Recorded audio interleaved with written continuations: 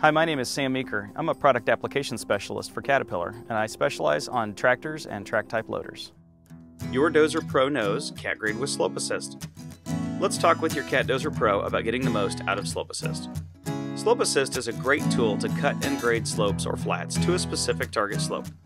Like any tool, to achieve the best accuracy, you'll need to keep it in adjustment. One of the key adjustments for slope accuracy is the blade wear adjustment. As your blade wears, this number will need to be updated.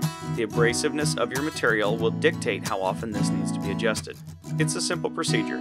Just enter the Slope Assist menu, then Settings, then Blade Wear. Measure the distance from the cutting edge bolt to the lower edge and enter this value.